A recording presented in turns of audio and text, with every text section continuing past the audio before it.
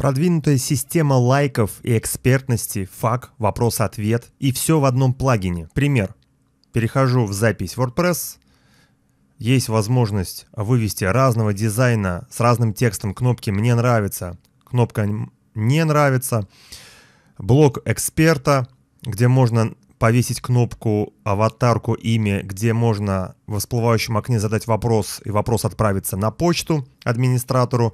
Также ниже можно задать неограниченное количество экспертных вопросов-ответов. Также фак или вопрос-ответ в раздвижном вот таком вот аккордеоне можно задать. Дизайн, все настраивается на лету, и все это в одном плагине. Подойдет абсолютно для любых цели для любого сайта. Меня зовут Федор Васильев и подробности в этом видео. Небольшая информация для тех, кто не знает. Если у вас нет времени и вы сомневаетесь, вы всегда сможете заказать сайт у меня, позвонив мне бесплатно по телефону через приложение Viber или WhatsApp. Номер мой вы сейчас видите у себя на экранах. А я возвращаюсь к теме урока. Плагин, естественно, платный. Разработчики русские. Это очень хорошо. Если у вас вдруг возникнут вопросы после покупки плагина, вы всегда сможете получить качественную поддержку на русском языке. А это очень важный момент. Ссылку на покупку данного плагина, если он вам вдруг понадобится, я оставлю в описании под этим видео и на своем сайте в блоге. Итак, я буквально набросал несколько элементов, чтобы просто вам показать.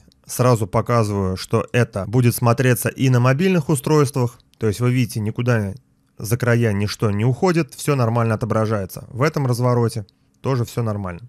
И как это работает? После установки плагина. Плагин будет находиться.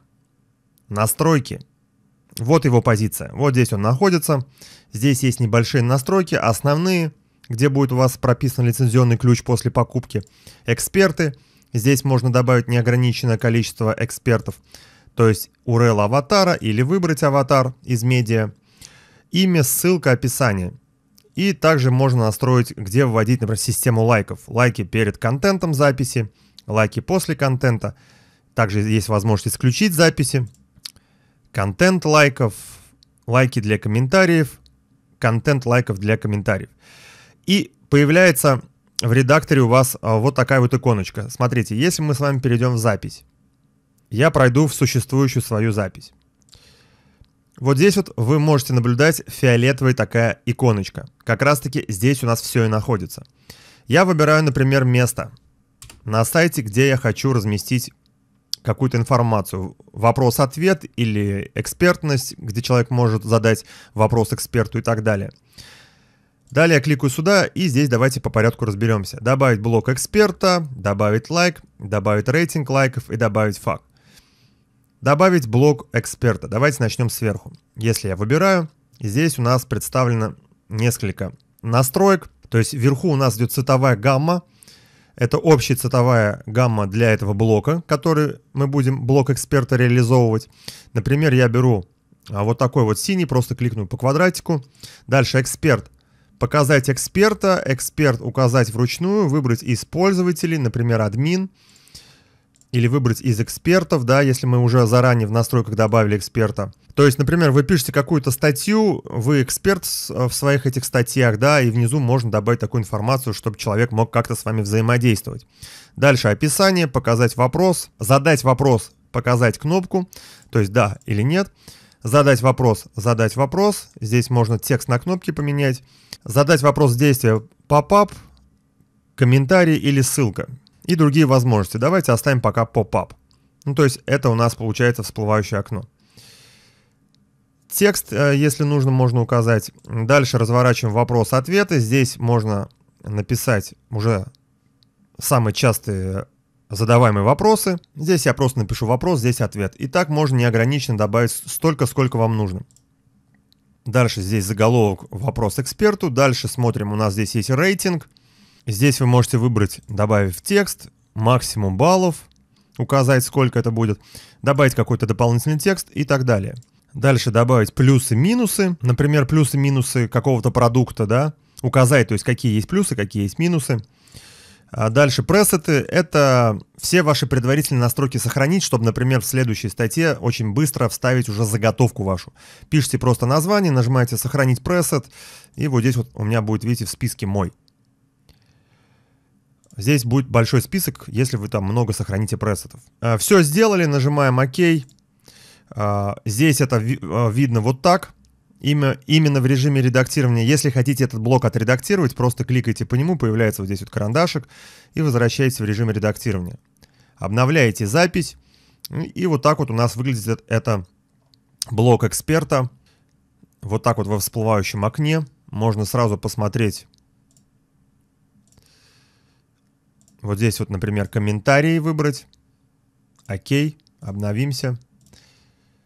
Посмотрим, как это будет отличаться. Задать вопрос. У нас идет прокрутка к форме комментариев. То есть очень такой мощный плагин у нас с вами получается. Далее мы с вами смотрим «Добавить лайк». Здесь вы можете выбрать стиль из предложенных. Конечно, надо посмотреть будет каждый, чтобы определиться, какой вам больше понравится. Дальше размер кнопок, иконки, выравнивание, left, right, слева, справа, центр, да? Давайте по центру. Ну, здесь все по-русски, я думаю, здесь и так все понятно. Э, текст на кнопке мне нравится, мне не нравится. Давайте сразу посмотрим, как это выглядит. Вот так это выглядит в режиме редактирования. Если я пройду на сайт, обновлюсь. Вот у нас кнопки «Мне нравится» или «Не нравится». Также есть возможность добавить рейтинг лайков, э, заголовок, и выбрать стиль из предложенных. Окей. здесь будет показан итоговая таблица рейтинга. И если нужно, по желанию, можно в каждой статье или в какой-то определенный добавить дополнительный блок фак, так называемый, или вопрос-ответ.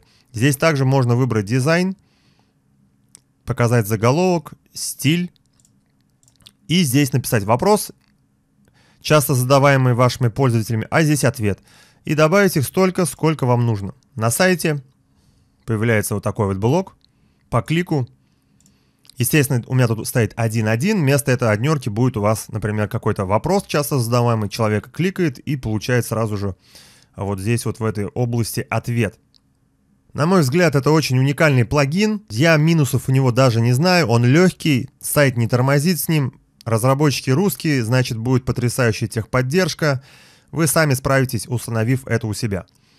Крутая штука, подходит, мне кажется, любому сайту, особенно блогу, если вы ведете статьи, если вы хотите поведенческий фактор свой увеличить, а это очень важно для вашего сайта, для продвижения, так как у нас люди сейчас не задерживаются на сайте, да, быстренько, бегло пробегают информацию, читают и уходят, а для сайта полезно как можно дольше, чтобы человек оставался на сайте. В такие блоки, они позволяют задерживать ваших посетителей на сайте, то есть взаимодействуя с ними. Человек может задать вопрос, человек прочитает факт, вопрос-ответ, нажмет на кнопку «Мне нравится», то есть такие вещи, да, и подходят практически каждому сайту. Это может медицинский быть сайт, да, это может быть кулинарный сайт и любого рода сайт. А в большинстве своих случаев какой-то образовательный сайт, то есть когда а, блог чему-то учит. Повторяю, что ссылку я оставлю на покупку данного плагина в описании под этим видео. Также оставлю ссылку на своем сайте. Меня зовут Федор Васильев и до новых видео, друзья.